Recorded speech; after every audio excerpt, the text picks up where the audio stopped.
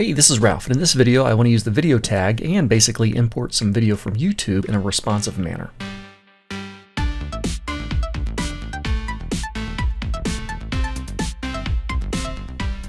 Okay, so I've got a web page set up. Ultimately, my goal is to display some videos on here that will look good on phone size, tablet size, and desktop size. So let's go ahead and get to work. Um, I do have a page set up with nothing too fancy and uh, just some basic styling on there. I want to work in the body section for a bit and prepare where my videos are going to go. And what I'm going to end up doing here is basically creating um, a div and I'll do a class equals with a vid wrapper and a closing div. And then within that, I'm going to have div class equals vid container and the closing div. Now this is going to serve as basically a picture frame for my video file and then I'm also going to have an outer frame or an outer wrapper for that particular container. Now this is important because we're going to use one in order to size proportionately with whatever our video is and with whatever the device screen width is. And I'm going to use the outer wrapper to set a limitation. I don't want this to always be as wide as the screen, for instance. I'm going to have it maxed out at a certain level. So that's actually enough for us to size this. So I'm going to head up here and my vid wrapper I'm going to set its width to be 100%, taking up the full screen. However, I'm going to put a max width on there of about 800 pixels. So somebody with a widescreen desktop, I don't want this video to be too wide. They'll still have the option to go full screen if they need to. And I'll also go do put a margin on there, 3 M's top and bottom, auto left and right. So that's going to set the outer limit or the upper limit of this video to 800 pixels. Now for the vid container inside of that, this one's going to be a little bit different. Um, I'm going to set a width of 100%. I'm going to do a max width of 100%. Now, remember, this vid container is inside the vid wrapper, so whatever the vid wrapper is, the vid container is going to be in it. And It's filling up the space, basically.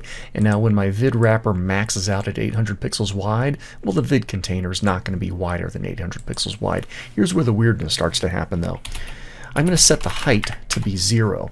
The catch is, is I can't rely on height because I want the height to change proportionately to the width of this video container because as the video gets wider it needs to get taller but I still want to keep the aspect ratio.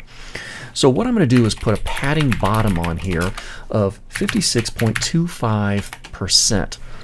So that 56.25% is actually coming from common dimensions of a video. So for instance, if I were to take 720, no, 720 divided by 1280, we'd get to 56.25%.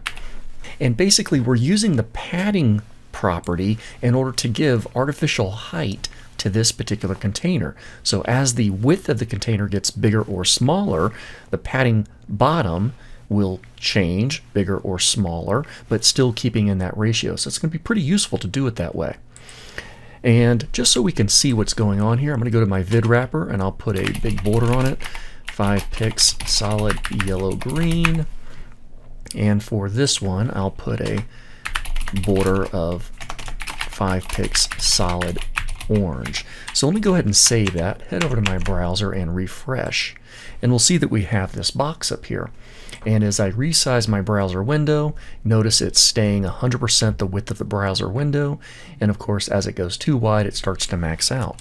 So that was pretty easy. And now that this chunk of code or chunk of markup is accurate, I can use this whenever I want to pop in a video, which I'm going to try right now. So I'll head over to my browser here and just pop open a quick YouTube. And I'll go ahead and grab a video. Hi everyone, I'm Emil Stonick. I don't need to play the video, so I'm going to head over to Share, Embed.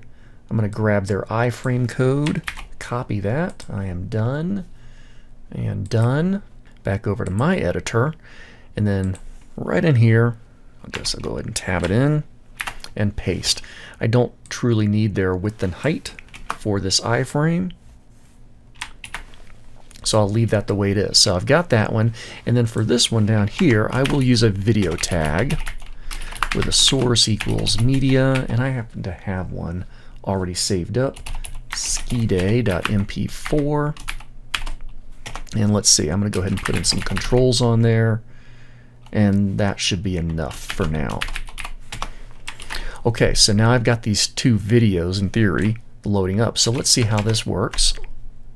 When I refresh, okay, so there's my YouTube video, and here my video is down here, but I can see the sizing is way off. So I need to add a couple other little CSS declarations, and I can do these two at once. Dot vid container space iframe comma dot vid container space video. Now these are going to be a width of 100%, and I'll do a max width of 100%. That one's not too necessary. And a height of 100%. But I want to follow up a little bit more. Because of the weird shaping with the width and the height of my vid container, remember I'm using this weird padding bottom, I also want to make sure that these videos, whether it's iframe or video tag, are positioned precisely within the container. So what I'm going to do is put a position relative on the vid container and then I can do a position absolute on the video itself and I'll just position it zero from the top and zero from the left. I'm going to save this, head back to my browser and refresh and now that we see that YouTube video is filling up nicely, my local video is filling up nicely. And if I were to resize this, there we go. We'll see that it's responsive even on smaller devices. There we go. So that is a bit about how you can embed videos into your web page in a responsive way.